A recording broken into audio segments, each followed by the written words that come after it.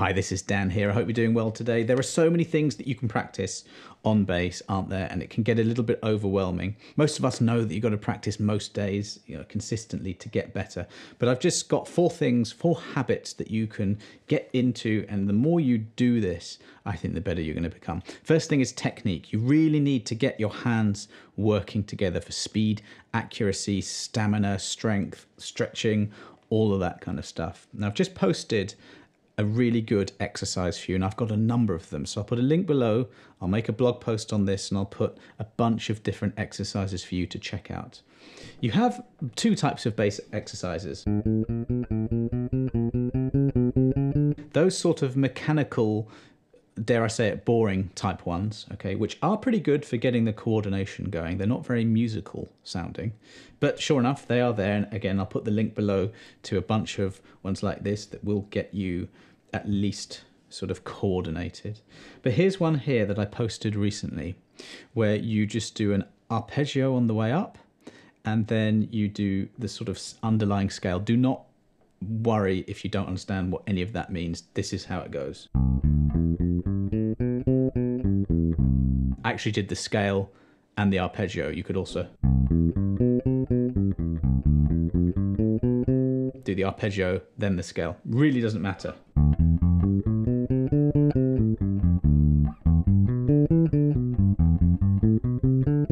I'm mixing things up a bit here. But the set of notes doesn't change. You know, here we're on the fourth note. This is a Lydian mode, actually. And an arpeggio, seventh arpeggio. Very good for the fingers. So I'll post, um, I'll put a link to the PDF and you can just learn this and then do different things. Like if I stay here, you can play the scale in thirds like I did there. So that's instead of going lowest to highest note, just go first to third, then go to the second note, third away from that. You carry on that way, and that gets the fingers and the brain moving. Let's carry on.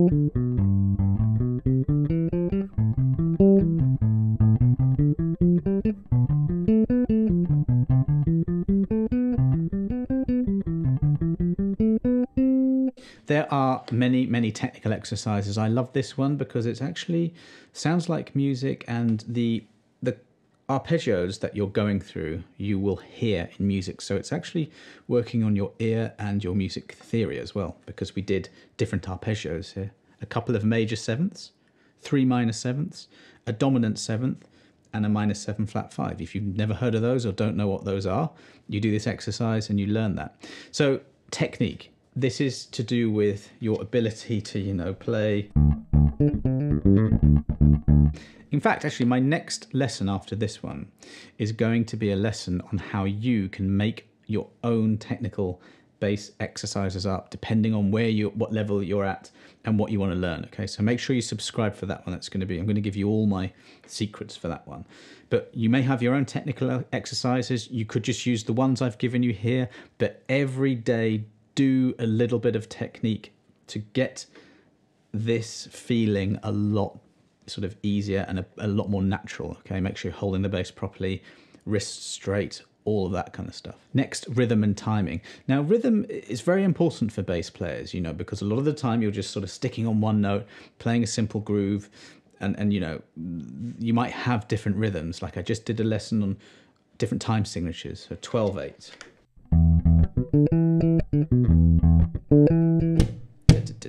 You've got a different feel to, say, 4 4. So rhythm is your understanding of different time signatures and different, you know, quarter notes, eighth notes, sixteenth notes. Part of it is like an intellectual thing of making sure that you know what everything I just said, what that means. Okay, that's the first thing.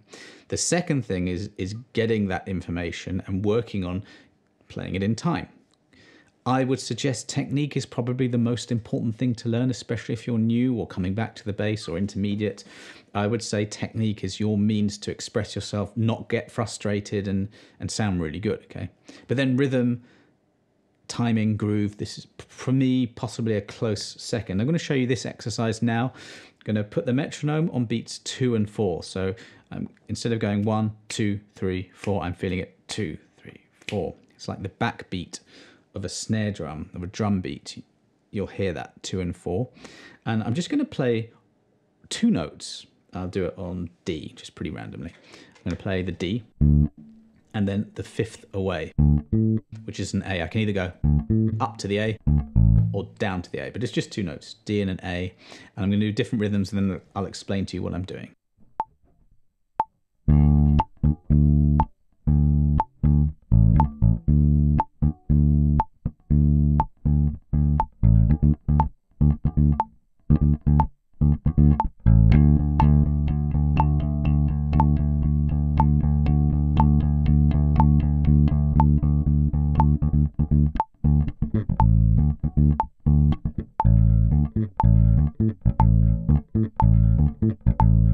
Now, what I did there was a bunch of different sort of improvising around just the root and that fifth note. Okay, D is the root, the A is the fifth, five notes away.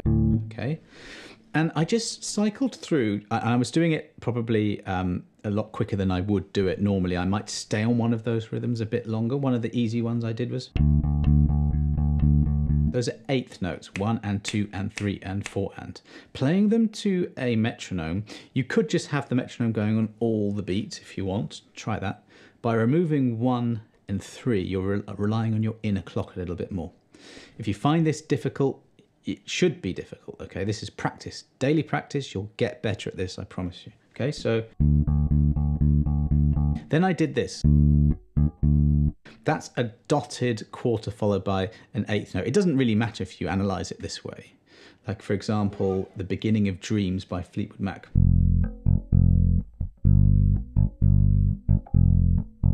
John McVie, brilliant bass player. Very simple rhythms, okay? So I just did that. Yeah, maybe stuck in one of those notes. But just keeping it going in time. Then I did some 16th notes. Those are where you have four in every beat. One, two, three, four. Tick, tick, tick, tick. I left lots of gaps.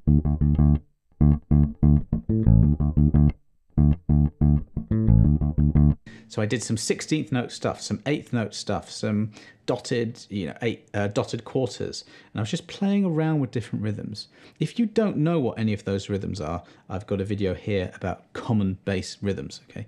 But a study of rhythm is essential for you, as is getting those rhythms and along with your technique making sure that they're in time. Do that every day, and you're going to be really good for that. Before I tell you the third thing I think you should do every day, let's address this question How long do I practice for? I had an Instagram message today from a doctor, and he doesn't have that much time. I had another one from a guy who's a teacher, and he's got four kids. He doesn't have that much time. Then I had another email from from a lady from the states who was practicing four hours most days. Amazing we all have different lives, we have different lifestyles, different jobs. How you're going to practice is going to be very different to me. I don't know what your time availability is, but you can do this with, I mean, even with five minutes a day, you really could. You're not you're not going to improve as much if you only do five minutes, but it's going to be better than nothing. You could do the, you know, you could just do the first exercise, just one minute up and down, you could just do one minute of the rhythm thing and then this is the third thing is to listen. So with practice just you have to adapt it to your own lifestyle but keep it as consistent as you can and stick to it. Hopefully five minutes turns into 10 which might turn into 15 hopefully. But you are the only person that knows how much time you have. Try and keep it consistent. The third thing i'm going to ask you or suggest to you that's a really good thing to practice is to listen to music, your favorite bass lines, but with a slightly different ear. Listen and figure out. Now, I don't know if this is something you do anyway, it might not be, you know, to be able to listen to some music and figure out the bass line. But you learn so much by doing that. Now, I'm proposing that you listen, figure out, and then try and analyze what is going on. So, for example, um, yeah, yesterday I was listening to Hejira by Joni Mitchell with the great Jaco Pastorius on bass. And I love that song, but curiously, I've never really figured it out. But the beginning bit, you know, so it's a, like it's a C sharp minor chord, and there's that lovely little bit there.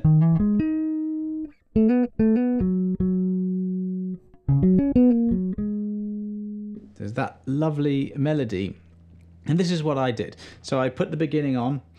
If you have to pause just after the little, as an example, do. If you have to go around it a few times, do that. Okay. Watch my lessons because I tell you what this stuff means, and and then you can start to sort of analyze a little bit. So the first chord, you got a C sharp minor, okay, and and Jaco starts on the third, the flat third of the chord. And you got a major seventh pattern. I've seen this pattern a million times before. Now I know that on any minor chord, I can go up a flat third and play that. You know, I can maybe do a bass line.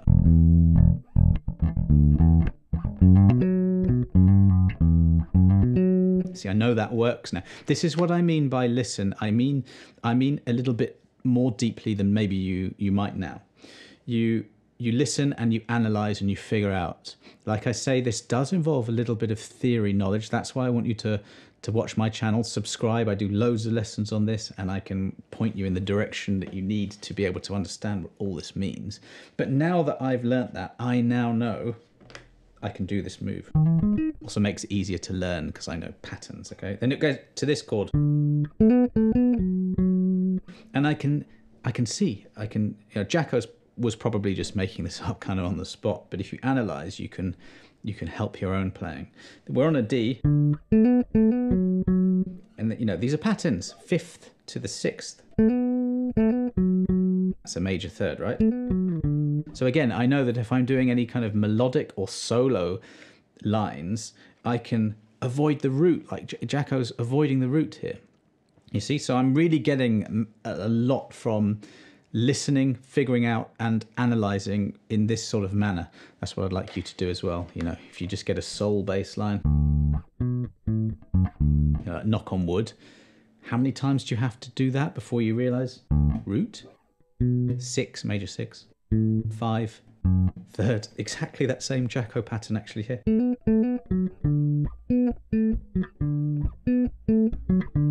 A light bulb goes off you realize that this pattern is being used. That's used all the time in soul. And th- if you do this every day, it's really, really going to help you. I'm not sure if I can, uh, if I've done this idea justice in the last couple of minutes of me mentioning this. This is, but this is huge. Figuring out songs, bass lines by ear, and then sort of reverse engineering them, analyzing them, working out why they work and why they sound brilliant if it's going to take you a little bit of time to actually hear the bass in the first place, to extract the notes, just every day you'll get a little bit better. I really promise you you will. So try your best to do that. So you've worked on your technique, you've done some rhythm timing work, you've listened to a bass line and done the hard work, and it is hard work of figuring out and sort of working out why it's good. Then, you know, the, the fourth thing you can do is just to play, you know, noodle around a bit on the bass. I think this is the thing probably most people do when they pick up the bass. They pick up their bass and they just play around, maybe perhaps a little bit unfocused and probably spending too much of their practice time doing this. This is really important to have fun, to explore, to just love playing the bass in that way. I think that you perhaps won't improve as much if you focus too much on this side of playing. That the leaps for you are going to come from when you've tackle the things that you're not so good at, the uncomfortable things, maybe like music theory and how to apply it, because it's hard and it doesn't sound great initially. Okay, so this aspect of playing, this could be where you just play along to to your favorite bass line, or you you're reading tab, or you know whatever it is. This could be a million and one different things. It could be just.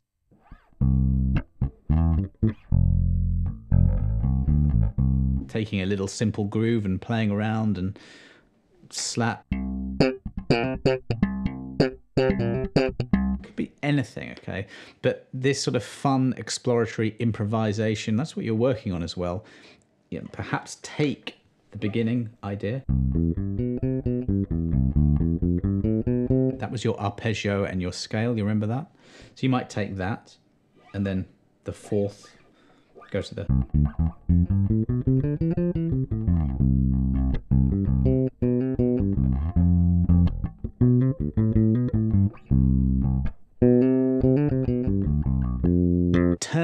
Into music, compose, write, you know, come up with your own thing.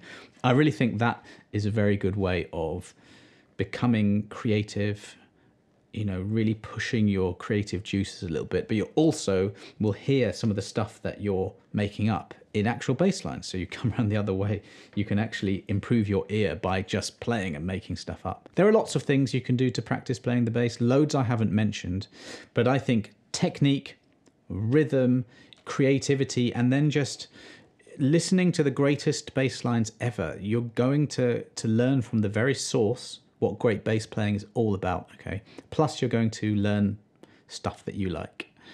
Obviously, if you're just a beginner or listening is quite difficult and you don't quite know what you're doing with it, that could lead to frustration. You've got YouTube, you've got channels like mine that help you with individual songs, but above all, I think it's about uh, educating yourself, working on your craft, becoming better at, at using your ear, becoming better every day at being able to teach yourself.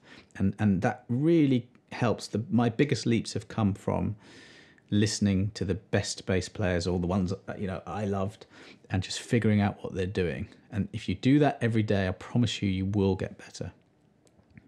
I'm sure you do have some questions based on this because even that's a relatively short video, I hope this can change your bass life. It really can. If you practice if you practice the right things and you get better at the right things, you know, if you get your technique better, your rhythm and your ear, you're just going to be amazing in like a year's time. Everything will completely transform. That's what I want for you, okay? But if you do have questions and I'm sure you do, just let me know and I'll answer them, do follow-up videos and let's see where we get. Thanks for watching. Please do subscribe and I'll see you next time.